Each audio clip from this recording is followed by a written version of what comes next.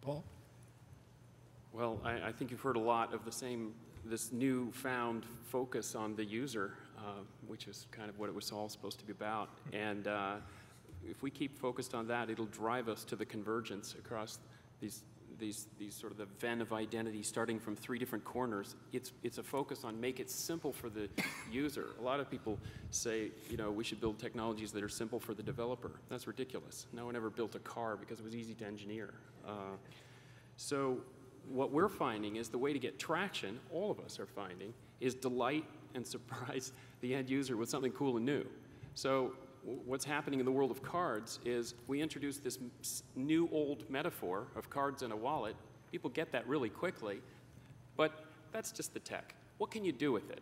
And we're finding things that are surprising in the ecosystem. Where we, a whole new kind of card has sprung up called an action card that doesn't rely on a relying party. It's just the card issuer issues this card, puts it into your machine, and because it's in the machine and knows something about you, for instance, uh, AAA in the Washington region is going to launch on May a card, an action card. When you put this action card into this selector, it knows you're a member of AAA. When you search on the, on the Google or Yahoo search engines, it annotates that with web augmentation right on your machine, um, advertising the ways you can save money.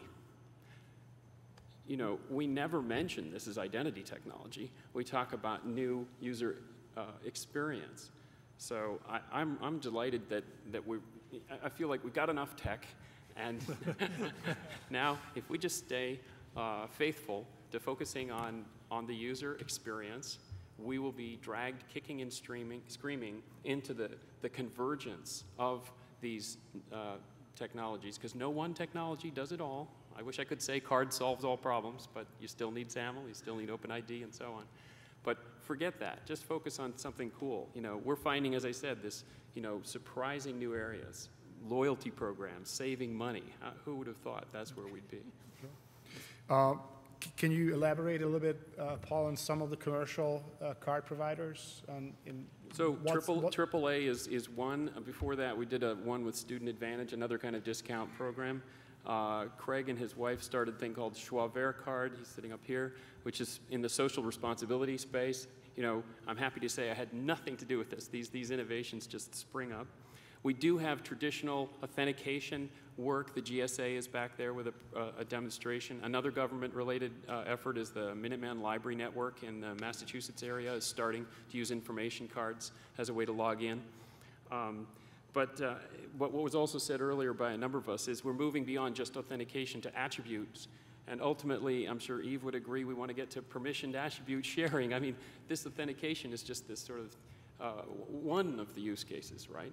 And, and one of the things I like about cards is that any card can have an arbitrary set of attributes. And you can not just sign in, but you can present them. Oh, and the card doesn't have to be what you say about yourself. It can be, for instance, with the demo with GSA, it's what Equifax says about you is what signs you into the GSA site. Mm -hmm. So I think across the panel, we're seeing authentication, attribute, you know, things like OAuth allow permissioned attribute exchange. And it's not the only technology even in that space. Excellent, thank you. Um, what I'd like to find out now a little bit more about is, is we all heard about how this is not a technology game, right? How, how this is beyond uh, protocols working together.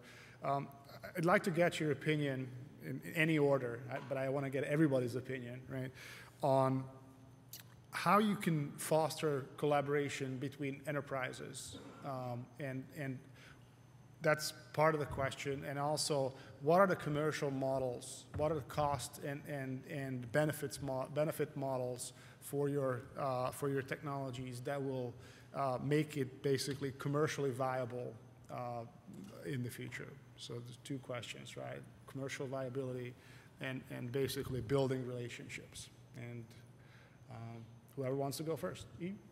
Maybe I can speak as the SAML lady here. Um, I've been working with SAML for, was it somebody pointed out, a thousand years or something earlier today? okay.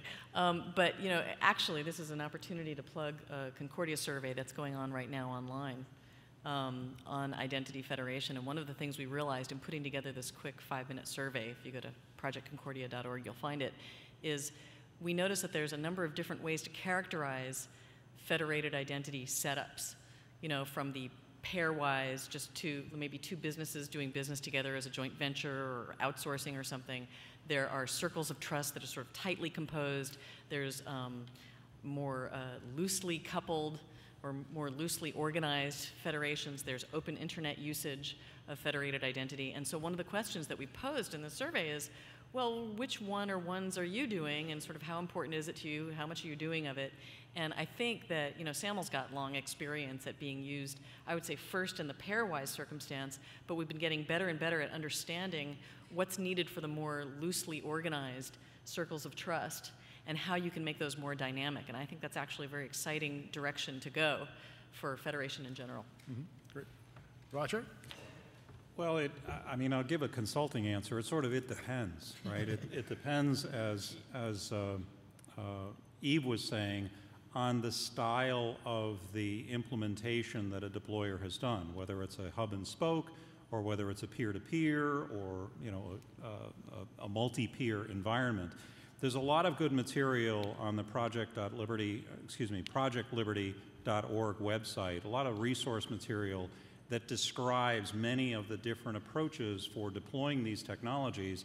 And again, it, it depends. It can be customer retention or customer capture, which is much easier in a peer to peer federated environment, say in a financial institution, the classic example of the 401k, um, versus in a retail environment where I want my suppliers to be able to tap into uh, survey information that's coming in about a particular technology widget that's on sale. So I want the supplier of that technology to be able to see the survey results if I'm the retailer delivering it. And future think, a lot of the people who will fill out those surveys, who will blog about that, are people who are very adept at social media. And we don't know what the ROI of that is. The social media capture to a str more strongly authenticated, perhaps SAML uh, protocol. So there are, it's very early on to pick an ROI that's going to uh, be the one size fits all answer. But again, I'd recommend going onto the site and looking, looking at the case studies that are there, as well as some of the uh, deployment guidelines and, and uh, uh, models.